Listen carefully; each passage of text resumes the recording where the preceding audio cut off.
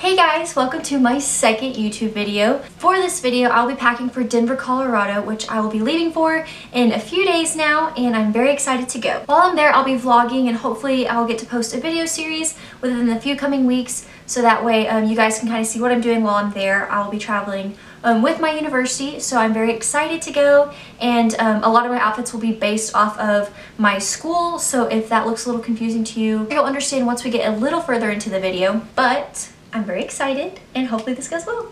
Bye!